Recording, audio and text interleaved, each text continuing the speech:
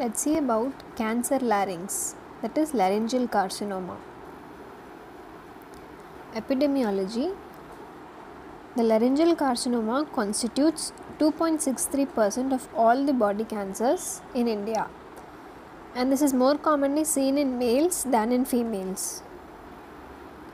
But nowadays, it is also increasingly seen in females, especially in Western countries, because of their habit of smoking. And the most common age group affected is 40 to 70 years. Etiologies for laryngeal carcinoma the most important risk factors are tobacco and alcohol.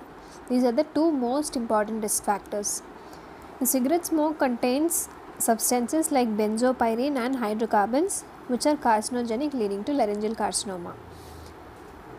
And one more point is having both alcohol and smoking together increases the risk of laryngeal carcinoma by 15 times. The other etiologies include genetic factors and occupational exposure like asbestos, mustard gas exposure, and exposure to certain petroleum products. Next, the histopathology. The majority of the laryngeal carcinomas are squamous cell carcinomas, about 90 to 95 percent.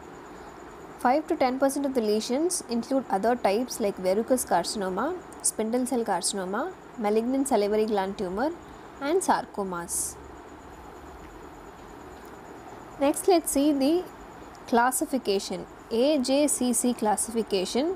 It stands for American Joint Commission Classification 2002. So here it is classified based on the site and the subsite. In supraglottis, the cancer can involve suprahyoid epiglottis, infrahyoid epiglottis, aryepiglottic fold, arytenoids, and ventricular bands, that is the false vocal cords. In glottis, the subsite is true vocal cord, and the subglottis, the subsite subglottis up to the lower border of the cricoid cartilage. First, let's see about the supraglottic cancer. The spread of supraglottic cancer.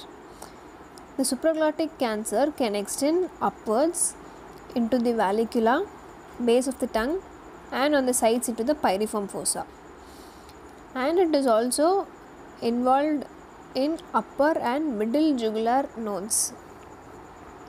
So it spreads to the upper and middle jugular nodes, and a characteristic feature is nodal metastasis is an early feature in supraglottic cancer. Coming to the symptoms of supraglottic cancer, the presenting symptoms are throat pain, dysphagia that is difficulty in swallowing, re- referred pain in ears, and lymphadenopathy. The late features include hoarseness of voice, weight loss, respiratory obstruction, and halitosis that is bad breath.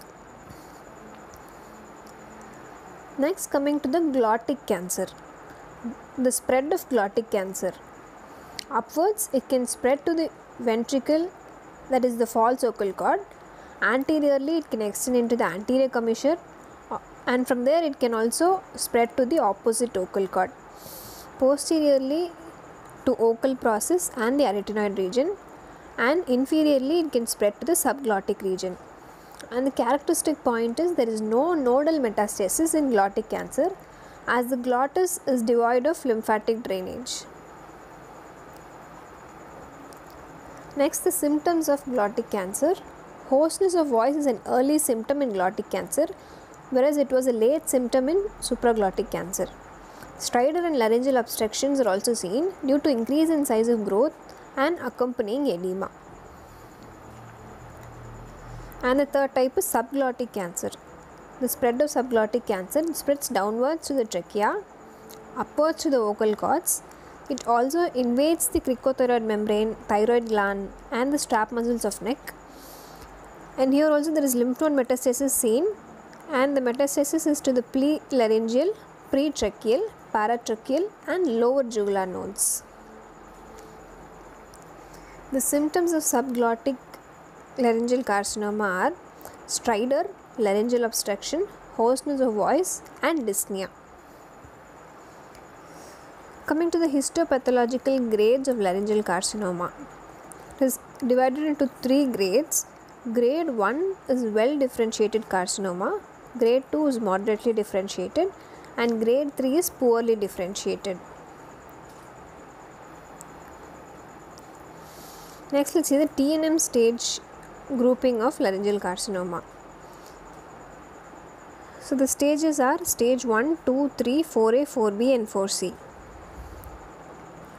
Similarly, the T is T1 for 1, T2 for stage 2, T3 for stage 3, T4A for stage 4A, and T4B for stage 4B.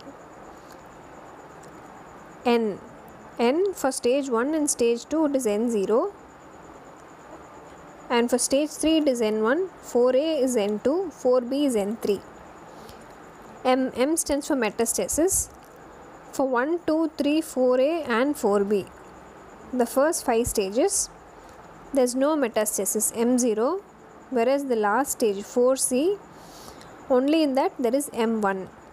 So the stage 4C is any T, any N with metastasis M1. This is the TNM stage grouping.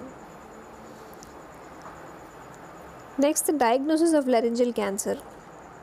The diagnosis can be made by first important thing is getting a detailed history from the patient, then doing an indirect laryngoscope to visualize the larynx, then flexible fiber optic or rigid laryngoscope Flexible fiber optic laryngoscope is used most commonly in children. Then we do examination of neck for any lymphadenopathy. Lymphadenopathy indicates metastasis to the lymph nodes. Next is radiography. Radiographical examinations like CT, MRI, X-ray. Then we also do direct laryngoscope, microlaryngoscope and supravital staining using certain dyes and biopsy. First is history. Any patients in cancer age group having persistent or gradually increasing hoarseness of voice for 3 weeks must undergo a laryngeal examination to exclude cancer. Indirect laryngoscope. Using indirect laryngoscope, we can see the appearance of lesion and the mobility of vocal cord and we can also see the extent of the disease. Radiographical investigations include X-ray chest, soft tissue lateral view of neck, CT scan and MRI. Direct laryngoscope. Direct laryngoscope is used to see the hidden areas of the larynx and the extent of the disease. Whereas the hidden areas cannot be seen with indirect laryngoscope. Microlaryngoscope. This is done to see the small lesions of vocal cord and this is laryngoscope is done under microscope to better visualize the lesion and to take more accurate biopsy specimen without damaging the cord.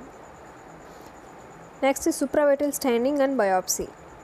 Here the stain used more commonly is toluidine blue which is applied to the laryngeal lesions and then it is washed with saline followed by examination under microscope. So here the findings are if there is carcinoma in situ or any superficial carcinomas, they take up the toluidine blue dye whereas the pre-malignant lesions and other benign lesions like leukoplakia does not take up the stain. Then the treatment of laryngeal cancer. The treatment can be radiotherapy, surgery. In surgery there are two types, conservational laryngeal surgery and total laryngectomy. The other treatments are combined therapy, endoscopic resection with carbon dioxide laser and organ preservation. So that is all about laryngeal carcinoma, the important points. Thank you.